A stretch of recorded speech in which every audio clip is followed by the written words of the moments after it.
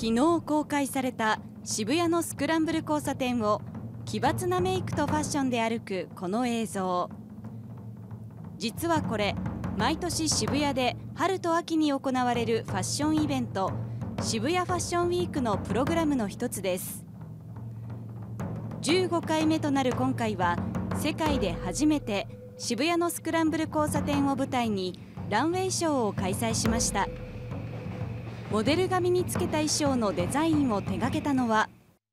夢を持ちましょう。初めての挑戦をしたいと思ってますどえらい出来事を起こした彼らにリレーしたいなと。前例のない仕事が、ね、今後の日本の未来を作ると思ってます。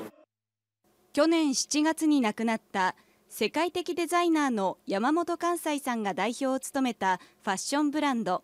関西山本のチームです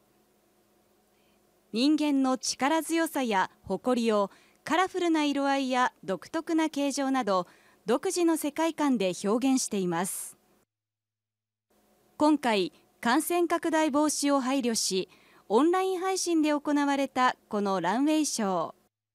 実行委員長はファッションアートの力で今を乗り越え未来に進もうという思いを込めて新しい生活様式に即した多彩なプロモーションを開催するとしていて